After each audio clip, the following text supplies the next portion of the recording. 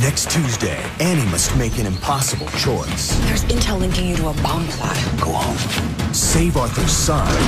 What are the parameters for using extraordinary measures? Or save herself. Don't do it, Teo. I will shoot you. Do you trust me? In all new Covert Affairs, next Tuesday at 9 on US.